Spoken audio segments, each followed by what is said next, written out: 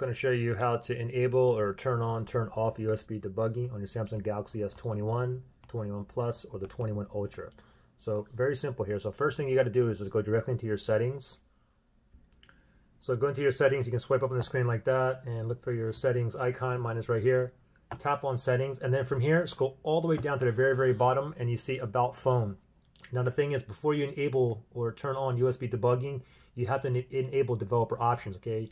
So we have to enable developer options first. Once we enable developer options, it's going to show up below this about phone. So let's go and develop, um, enable developer options first. So about phone down here, let's tap on this first. And then from here, I'm, I'm covering my personal information, but down here it says software information. Tap on software information. And now you see it says build number here. What you want to do is tap that seven times, okay? So one, two, three, and you get a countdown four steps away, five, six, uh, yeah, I think it's seven times. Now go ahead and enter your password. And once you enter your password, click on done right there. Now it says developer mode has been turned on, right? So now let me go ahead and click on back. Right now we're on software information. Let me go ahead and just click back. And then we're now we're on about phone. Let's click back one more time. Now remember, about phone was the last thing on the um, very bottom. Now we got one more. Hey, developer options.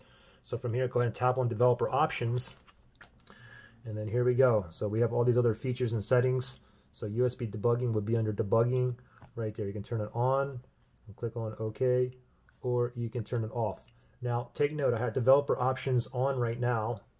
So if you happen to go ahead and just turn it off, if you turned it off, now in order to turn it back on, you have to go through the whole process again because I turned it off. So if I go back and then I go all the way to the bottom here under settings, now it only says about phone. It doesn't give me the um, developer um, options mode on here. Okay, so pretty simple. Questions or issues, just comment below. Good luck, guys.